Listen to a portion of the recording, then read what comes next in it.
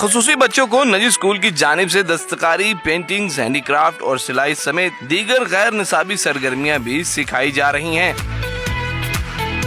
नन्हे फूलों की तरफ़ से तैयार मॉडल नुमाइश में पेश किए गए। खसूसी बच्चों ने अपने अंदाज में टेबलो पेश किया। मैजिक शो हुआ, जिसको देखने वाले महसूस होते रहे।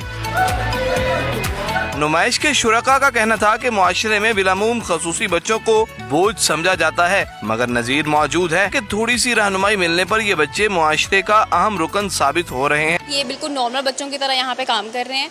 और जैसे आपने देखी है कि यहाँ पे डिफरेंट एक्टिविटीज़ हो रही थी बच्चे इनमें पार्टिसिपेट भी करते हैं इन्वॉल्व भी होते हैं। वो ऐसे बच्चे जो किसी वजह से अपनी पढ़ाई मुकम्मल नहीं कर पाते हैं तो उनको स्किल ट्रेनिंग हम दी जाती है। ग्राफिक डिज़ाइनिंग है art and arts and craft है। इंतजामिया का दावा है की वो मुख्तलिफ़ शहरों में तीन हज़ार ऐसी ज़्यादा खसूसी बच्चों को तालीम दे रहे हैं।